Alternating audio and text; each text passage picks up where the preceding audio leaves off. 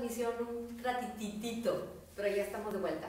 Ok, entonces podemos hacer eh, caminata corta y de vuelta. Y luego vamos a hacer rebotes, ¿sí? Y luego vamos a hacer cuadro. Y luego paseo. La música termina en 10, pero lo voy a hacer en de 11 por cuestiones prácticas. ¿Les parece? Y ahorita vemos cómo se cierra un paseo en 10. ¿Les parece bien? Bueno, entonces voy a regresar la silla a su lugar. Creo que nos sirvió muy bien simplemente para la explicación. Voy al rol de guía, empiezo con mi pie izquierdo y pónganme la música. Sonriendo, bien derechos, metan el ombligo. Lleven la cabeza muy arriba, hombros atrás.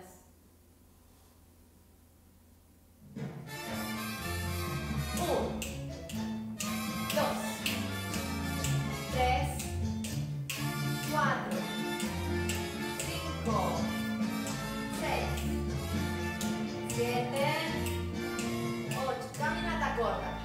1, 2, 3, 4, 5, 6, 7, 8, 9, 10. Reboto. Y 1, 2,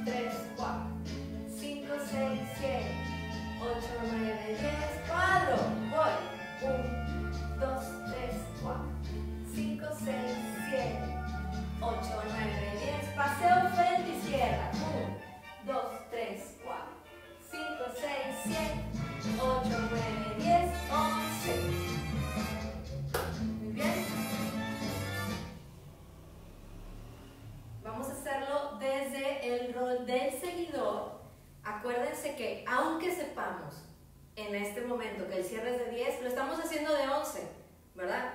Para no explicar muchas cosas al mismo tiempo.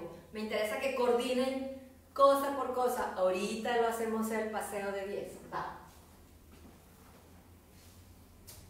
¿Listos?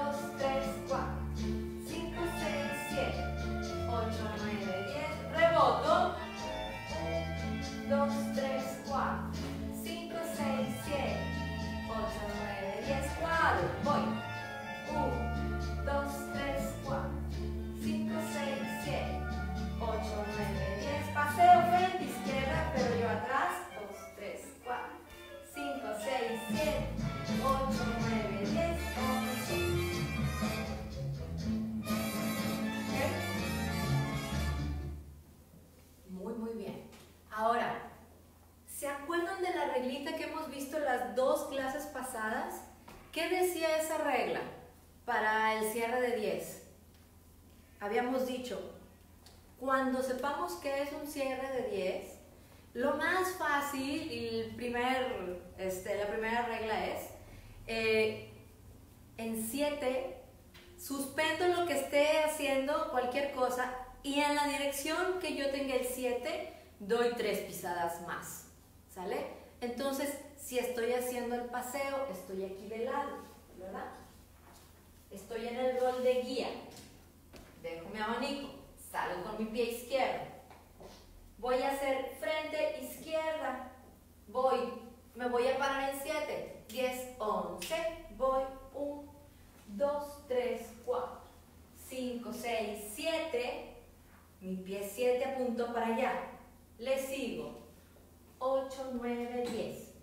Y junto mis pies. ¿Sale? Ahora, si estoy en el rol de seguidor, tomo mi abanico. Estoy aquí. Con mi pie derecho voy hacia atrás a la derecha, ¿verdad? Voy a hacer esta circunferencia. Voy 10, 11 y 1, 2, 3, 4, 5, 6, 7, me sigo para allá. 8, 9, 10. ¿Sale? Y termino con mis pies juntos. Vamos a hacer este ejercicio que hemos estado haciendo y así concluimos la primera parte de Nereidas. ¿Les parece? Lo voy a hacer de guía, entonces es caminata corta, rebotes, cuadro, paseo con cierre de 10.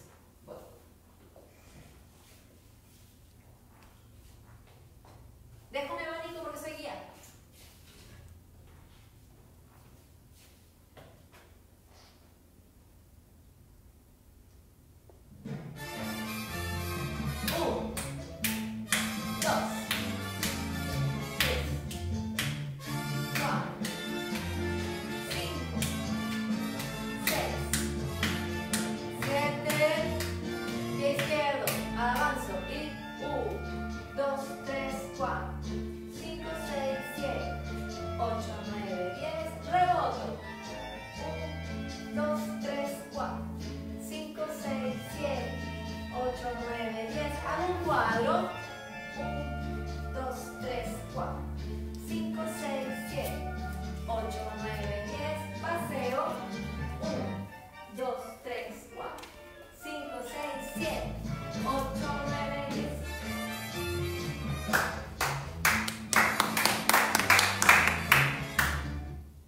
Ok, creo que los seguidores lo vamos a poder hacer muy bien. Ya no nos alcanza el tiempo, pero lo que les quiero decir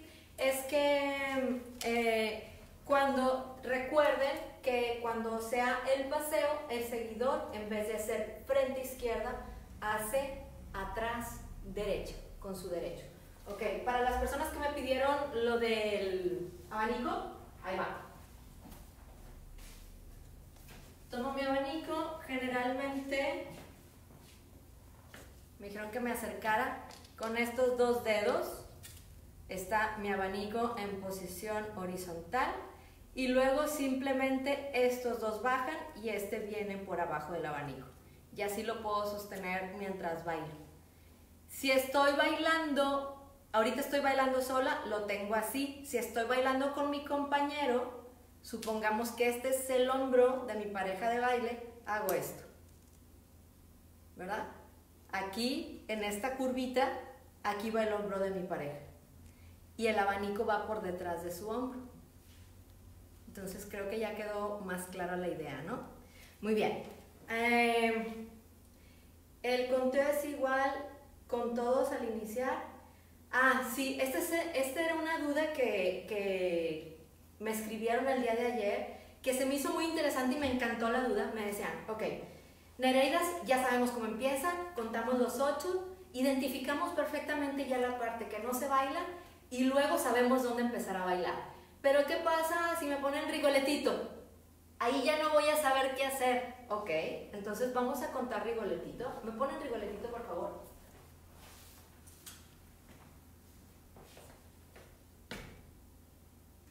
Puede ser cualquier versión, eh, puede ser la de acerina. Ahí va.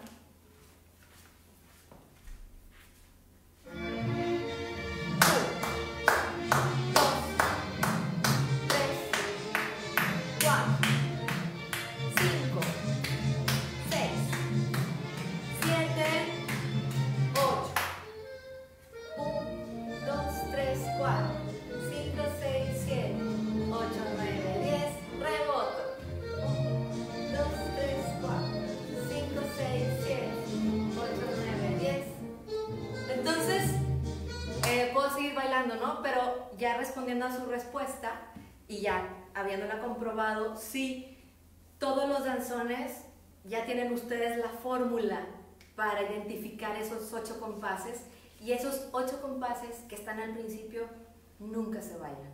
Lo que viene después, o que sería el compás 9, ahí empezamos a bailar. Entonces, cada vez que suene esos ocho compases, ahí dejamos de bailar. Eh, poco a poco vamos a ir explorando esto, pero bueno, ya, ya se quedó la comprobación, vuelvan a escuchar y se queda el video. Me encantó esa pregunta.